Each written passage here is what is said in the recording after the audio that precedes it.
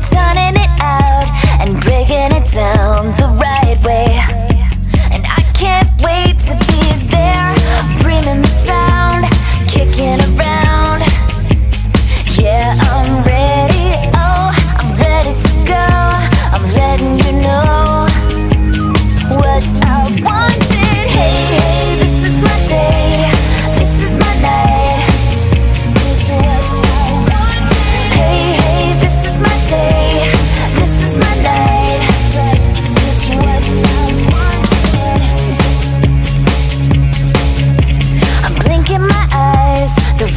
this way.